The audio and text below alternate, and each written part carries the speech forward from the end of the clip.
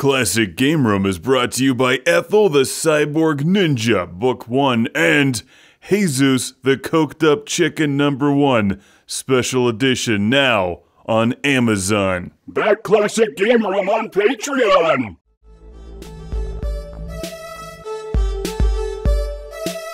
Welcome to Classic Game Room for the review of Taz on Atari 2600 from 1983. Did you know there was a Tasmanian Devil game on the Atari? Did you know it's good? It might surprise you. Let's check it out. Taz from 1983. I really didn't expect much from this game, but it's actually pretty good. Any game where you eat hamburgers and get killed by dynamite can't be all bad. Let's just restart that. So the button does nothing in this game. You just move up, move up and down, left and right. The simplicity makes it good.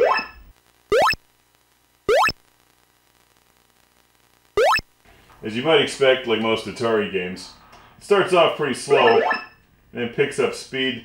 At first, your hamburgers are only worth 50 points each. So don't uh, don't do anything stupid in the beginning. Don't get blown up, because you need some extra guys. Because later in the game, it gets fast. This reminds me of something. I'm having. I can't remember what though. Taz, Taz, Taz, Taz, Tastic. Taz has a hearty appetite and likes a good mug of ale. The uh, controls are pretty tricky in playing with the Sega Genesis controller. You just move Taz up and down and gobble the food while avoiding the dynamite. Alright? And like Super Pac-Man, food starts to change and becomes worth more points. Here we are at level 2. Taz is drinking beer. Probably root beer. Root beer's good though. Maybe it was beer, I just ran right into the dynamite. And after all this ice cream, Taz is gonna have a heart attack.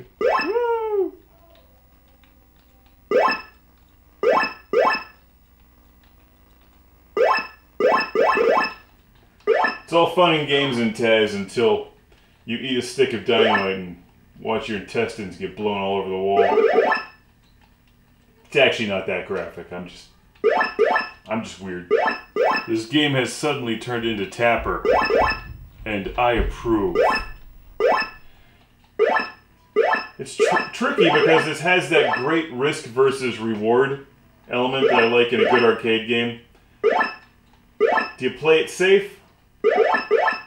Or do you try to drink all the beer? and avoid the dynamite. Don't drink don't drink a stick of dynamite. It's very bad for you.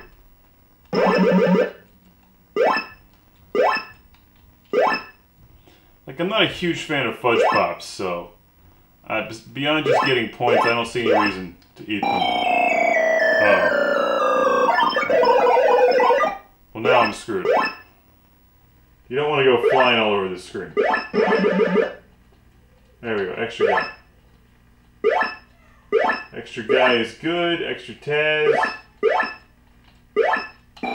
Crazed Wave! Now this is usually where I die, quickly. Because it's crazy!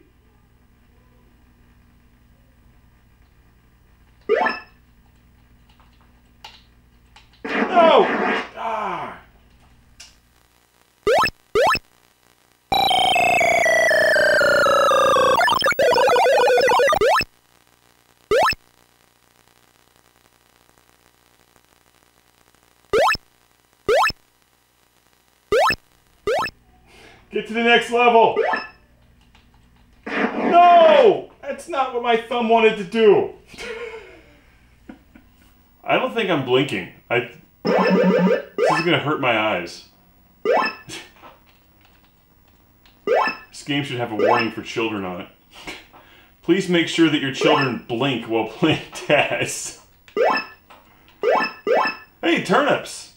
It's, it's like Dig Dug. Whoa, whoa! Turnips possibly give you more points than beer and ice cream? That just doesn't make any sense at all. All right, so I'm basically just staring at the right side of the screen so that that one dynamite stick doesn't hit me.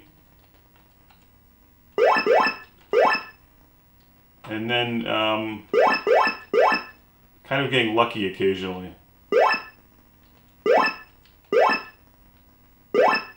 That's my strategy for this game.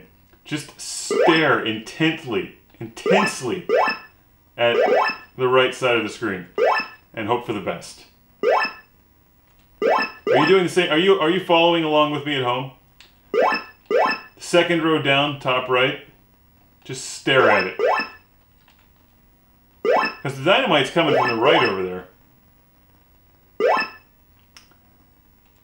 So if you can just avoid the dynamite by going either up or down. Oh, whoop, see up or down.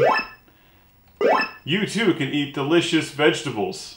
Oh wait, what do we, we just turned in, what are those, tomatoes now? 500 points for tomatoes, that's, this is my high score in this game. I have really gotten into the Taz flow.